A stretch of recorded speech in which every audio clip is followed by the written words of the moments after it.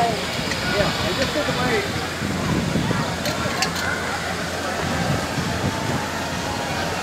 Usually they call them uh, ornaments, right?